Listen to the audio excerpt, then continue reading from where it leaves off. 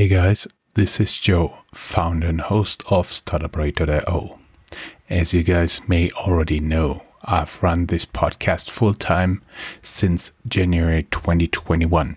I'm very happy to announce that Anchor FM is my sponsor for this podcast.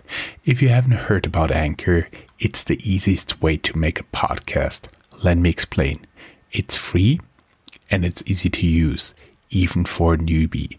They're creation tools that allow you to record and edit your podcast right from your phone or computer. Anchor will distribute your podcast for you so it can be heard on Spotify, Apple Podcasts, and many more. You can make money from your podcast with no minimum listenership. It's everything you need to make a podcast in one place. Download the free Anchor app or go to anchor.fm to get started.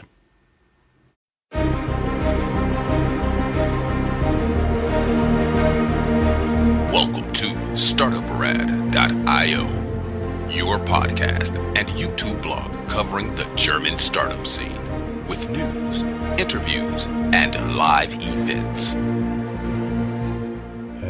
And welcome everybody. This is Joe from StartupRad.io, your startup podcast and YouTube blog from Germany. Once again, I'm here in Frankfurt in my study and Christian is there in New York. Hey Christian, how you doing? Yeah, I'm doing great. And from New York, from my cave. And uh, apologies because there is construction in front of my building, so probably this will interfere with the audio every now and then, but it should be fine.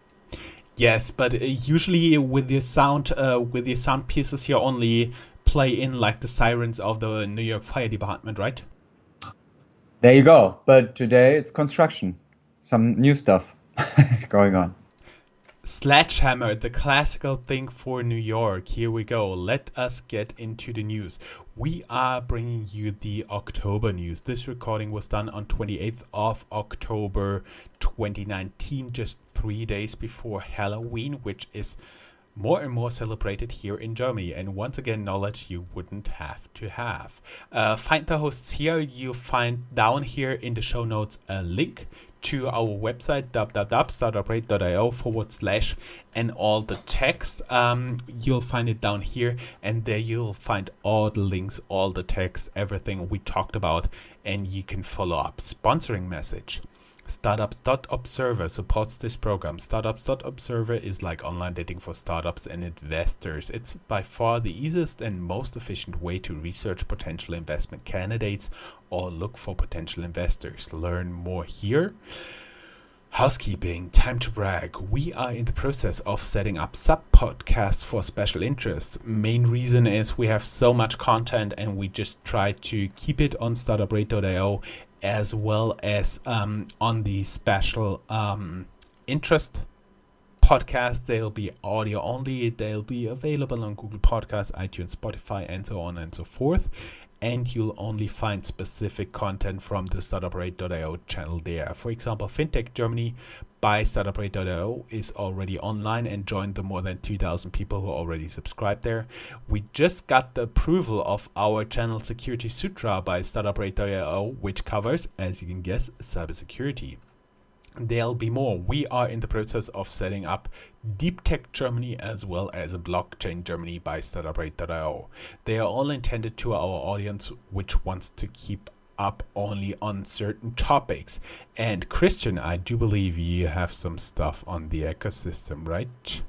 Uh, yes, there's a lot of uh, things going on with the ecosystem this time around. And um, we found a couple of articles talking about the growth and maturity of the European startup scene. Um, for example, on a website called Sifted, which is backed by uh, the Financial Times, and the uh, address is sifted.eu. It's a new media site for uh, innovation and entrepreneurship in Europe. And uh, there we found an opinion piece making the point that there are now 15 times as many 1 billion plus euros tech startup as there were a decade ago but also saying that those um, that the cities in which those startups are based need to connect better um, in order to be able to compete with the Silicon Valley. Um, or other places in the world which are considered hot spots of entrepreneurship. Um, to give you one quote out of the article, it says um, Tech is a huge growth engine for Europe. The average venture funded European startup with more than 10 million euros has grown by 25% since 2013, in contrast to the European economy's whole growth of 1.7% in the same period of time. The number of professional developers across the continent is growing at 5.7 million and rising. It outweighs the United States by now, which has around 4.4 million and remains static year on year. Uh, the ecosystem is set to expand even further over the next 12 months. Cities with active tech communities like Warsaw and Vienna are expected to join the established tech hubs as Ber- such as Berlin, London, and Barcelona in the number of high quality ventures they are birthing. If Europe wants to stay ahead in today's world, it must embrace the tech world, is the bottom line there. Top 50 EUstartups.com came up for Ada Lovelace Day with a list of Europe's most influential women in startup and venture capital space. More than a dozen from GSA, Germany, Switzerland, and Austria. You can see the full list on EU startups and in the show notes, um, the ladies we like to mention. Just here two. Um, Lea Sophie Kramer, which will be which will be part of our news companies down there in the show notes, and Maria Penanen from Frankfurt, who is the co founder of Accelerator Frankfurt. Hang on, here is the button. Back to you, Chris. Um, I have another opinion piece. Uh, it comes from Entrepreneur Europe, so probably you should take it with a grain of salt how much they uh, emphasize the European or the importance of Europe in the startup space. So, but still, I found it interesting because um, the headline was Forget Silicon Valley, Europe will soon be home to the best startups. And to give you some quotes or to show you how their reasoning is, that they say, um, that's not to say that innovation hasn't occurred outside American borders during this era. Spotify, Skype, Adyen GraphCore, Monzo, and Deliveroo all sprung up and scaled in Europe. However, these global success stories have done little to change the consensus that America is the birthplace of best tech. It's stateside companies who still hog the limelight, set the PR agenda, and dominate our consciousness. For many, it's hard to see beyond the stars with US stripes, yet we should be very wary of letting the Silicon Valley mythology continue to cloud our perspective as it's a worldview which is becoming rapidly outdated. While there's no denying America continues to play a huge role in developing the tools of the future, other geographies are giving our American cousins a run for the money when it comes to building radical new technologies. Um, and then just to give you some numbers that are quoted here, alongside a booming market for continental fintech and fashion tech ventures, GovTech is another prime example of where Europe is set to reign supreme. Um, from contactless donation devices for homelessness initiatives, messaging apps for doctors, or data protection dubs, bots, GovTech focuses on helping public sectors services work better.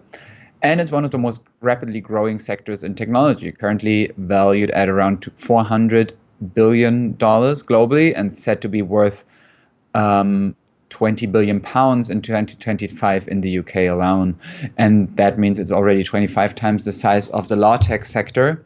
And what I found interesting, or found interesting about this in general, end of quote, what I found interesting uh, about this in general was um, that it seems to me once again as if Europe is more considered to be um, the hotbed for B2B solutions, for probably a bit less glamorous solutions, whereas most of the uh, companies we see coming from the US are uh, more consumer oriented, but that's probably not where most of the money is. Hmm. 10 things Europe's VC managers are talking about via European Investment Fund. To give you some background, the European Investment Fund, EIF, uh, was established in 1994 FOR is a European Union agency for the provision of finance to SMEs, small and medium enterprises, headquartered in lovely and little Luxembourg. Their top 10 points, and we just give you two, and you can find the rest on the website via the link. Three quarters of VC managers are targeting AI and machine learning, and Germany is growing in popularity. Who would have thought that a few years back? yes. Um, another article we found was uh, comes from Quartz, a well-known uh, tech or new tech website, um, and uh, Quartz was looking at the so-called neobanks, meaning companies like uh, the German N26 and Revolut, uh, which aim to be some kind of like Amazon for finance, but which are also often heavily criticized. So uh, the article makes the point that neobank valuations might bubble up, but investors are already thinking about even better bets in fintech. Um, for example, based on current valuations and recent funding rounds, it's clear that there are still plenty of smart people who see immense promise for neobanks in the West. 18 of Europe's biggest fintechs are now valued at more than $1 billion. Um, but um, there are also already companies who help traditional institutions make uh, more money and found their way in the uh, found their market. Um, now I should be back. There was yeah, I'm back. There was a little tech issue. I'm sorry. For example, um, I was so I was talking about uh, companies who work more in uh, at the back end of things. For example, Mambu, um, which provides the software in the background as opposed to the so-called neobanks. With with the classical banks, this is called a core banking system. Now we are at the hubs, Frankfurt Rhine-Main, IPOs, yes, plural. Mainz-based BioNTech mm, listed at Nasdaq, raising 141 million euros. As of recording the news, the share price increased from above 14 USD at IPO to above 17 US dollars. And TeamViewer shares open flat after Europe's biggest IPO of the year, wrote Reuters. As of recording the news, the share price de- uh, decreased slightly from above 25 at IPO to slightly below 23 euros per share, but nonetheless, this was the biggest tech IPO in Europe and it was located in Frankfurt. Talking a little bit more about Frankfurt. Frankfurt based Thinksurance raised 13 million euros from 8 Road Ventures for the commercial insurance platform. Thinksurance offers a platform to search, compare, and conclude the right insurance for businesses. They have been formerly known as Gewerbeversicherung 24. Very lovely German word. After bad news, exit of the CEO and co founder, controversial Sebastian Diemer. Heartbeat Labs, one of the investors carving out the research from the company, the rem- remaining bits of Farmako are now sold to Canada-based Agraflora. 10 German fintech clusters you should know about. We found the article including Frankfurt-based Commerz Ventures, which is the VC arm of Frankfurt-based Commerzbank, one of Germany's largest banks, FinSight Ventures, and Fino Digital, based in Kassel and Frankfurt. Kassel, that's your, your former home, Chris, right? Yes, and it obviously makes me very happy that for the first time on this show we're talking about something in northern Hessia. So, Hessia, so that is very nice. Uh, one last thought to about um, TeamViewer, I think, is even though there was this slight decrease, it, it still proved to be a, a, better IPO than we've seen with uh, even big brand names this year, like for example Uber or Lyft. So still good for them. Moving on to Karlsruhe. Um, there's HQS Quantum Quantum Simulations, who offer uh, software which shortens the development of new materials, for example, in the chemical industry. They raised at uh, 2.3 million euros of seed financing, um, and their investors include the Hightech Gründerfonds, Unternehmertum Venture Capital Partners, and BTOV Partners. And I'll also take the other end of the German Republic or the northern part of the German Republic um, Hamburg, Hamburg, uh, sorry, in Hamburg, the Germany-based Kreditech. Um, it's an AI-based near prime loans platform.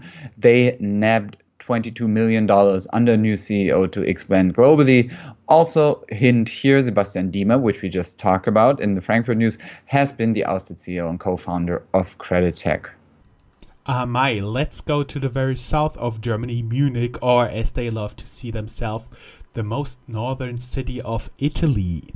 Munich based car subscription service Cluno discloses 140 million in debt financing. TechCrunch writes two asset backed financing deals totaling 80 million were signed recently, adding to 60 million of debt previously secured i.e., it's not all entirely new money. Separately, the company raised 25 million euros in equity financing in a Series B round in February, led by Valar Ventures, the US based venture capital firm founded by Peter Thiel. Others participated are Acton Capital Partners and Atlantic Labs, which both backed Cluno's Series A round. It brought the total equity raised by Cluno to 32 million. And I assume Chris wants to do the ecosystem. Yes, we're moving on to the ecosystem. Uh, software companies attracting are now, are now attracting higher multiples then we can figure out it's a good time to go public, and we're still not seeing enough liquidity liquidity to begin to clear the unicorn roster. It's concerning. Um, that is a quote from an article um, at Crunchbase News. It's about the Airbnb plans to have a an IPO in 2020. Um, and it's yeah they labeled it or headlined it with a reminder of how many unicorns still need an exit then the top three of e-commerce in germany um, the whole e-commerce in germany is around 14 billion euros? No sorry um, that's wrong. The top three had a revenue of 14 billion euros last year.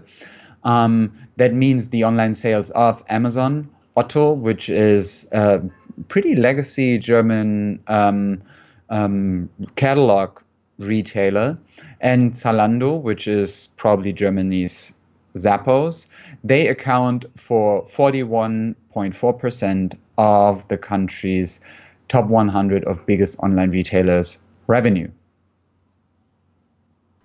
I found surprising here that out of the top 10 online stores, 5 are actually electronic retailers, and only Otto and Zalando are apparel companies because usually you would expect it completely different. We also found something interesting on the podcast ecosystem. There was a publication you can find in a link 34% of Germans listen to podcasts regularly, 13% listen daily, 25% weekly, 22% monthly. Average listener is male and earns above average income. 33% listen from home, 46% listen in the evening, and we wrap up the ecosystem with the scooter wars. There is an article, I do believe, let me quickly check. It was from the information Berlin based Lime. Lime this is uh, one of the scooter companies lost to top 300 million US dollar in 2019. They say Scooter rental scooter rental operator Lime was touted itself as one of the fastest growing startups ever, blanketing cities such as Berlin, Paris, Los Angeles with thousands of two-wheeled electric vehicles, including Frankfurt, but the firm is losing money nearly as quickly as it expands in part because the company's vehicles tend to break down before they can generate much cash. Lime's operating loss is likely to surpass 300 million this year on more than 420 million of, gross revenue. That means they are actually spending somewhere around 700 million. Whoa, that's a lot of money. Uh, yes, which makes us moving on to um, companies. We found on the website Silicon Canals, we found a list of 10 promising German scale ups worth your attention this year. Um, among them are Spryces, Signavio, Hydrogenious LOHC, and uh. Just for the simple reason we pointed them out because we we mentioned them with the ad at uh, Twitter, and the other ones have not had any significant Twitter presence. Study one startup fair wanted to find out which startup has the happiest employees. Surprisingly, N26 is one of the worst performers as measured by Kununu, which is like a version of something like Glassdoor here in Germany. Chris, New York, right? Uh, the New York-based venture capital fund Insight Partners invests 130 million euros into Munich-based commercetools. So that's a legitimate investment. And um, another like small good news from German from the German startup scene is that the Berlin-based SME-focused digital bank Penta now tops 10,000 business customers. And last but not least, we told you we will talk about her. Amorelie founder Lea Sophie Kramer leaves the company Amorelie, which with which she achieved a classy image for sex toys. The company was bought 2013 by ProSieben Sat1, where ProSieben and Sat1 are two of the biggest private uh, privately owned uh, media houses, uh, TV stations, for approximately 100 million euros. Guys, there's only stay ahead of the curve above. We are looking forward to bring you the next startup news wrap up, which will go live at Thanksgiving. And this is a great day because I do enjoy my turkey here in Germany since I do it myself. Okay.